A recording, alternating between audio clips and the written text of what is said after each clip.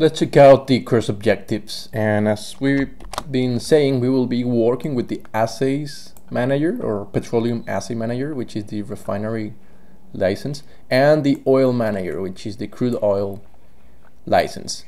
So the idea is to learn how to set up hypocompounds, oil assays, how to blend them, how to characterize the petroleum or crude oil, and eventually install the oil in the flowsheet and work with it.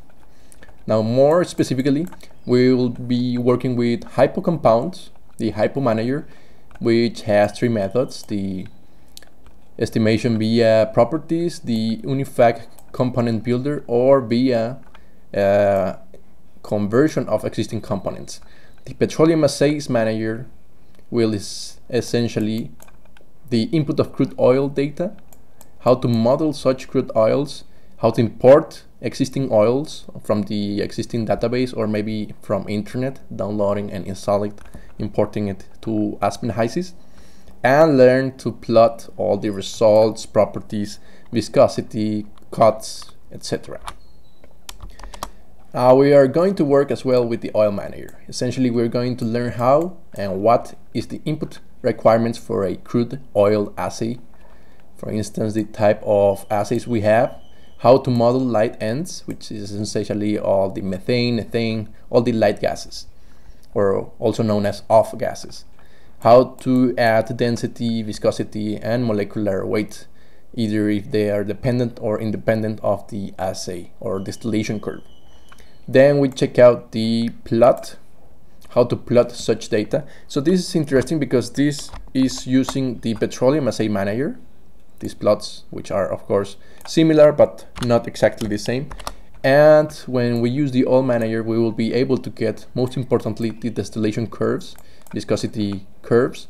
Most of the, let's say, important data will be present in the distribution plot, which contains all the off gases, how we separate the light short run, naphtha, up to residual materials and learn how to get tables, how to read them and how to plot them as well. Finally, we will learn how to install the oil, which is one of the most important parts. If you want to model these, you will want to install the oil in the flow sheet, so it's very important to do that.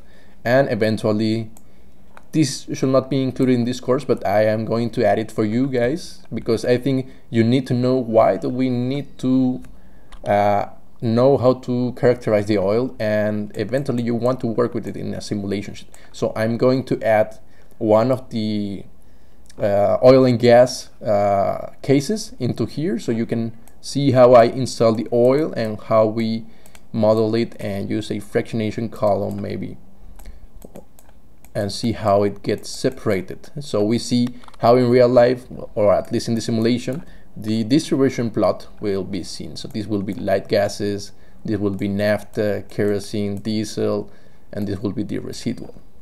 So those are the main uh, course objectives. The most important part are these right here, the hypo component, the petroleum assays manager, the oil manager a little bit on how to install the oil and we will work one study case.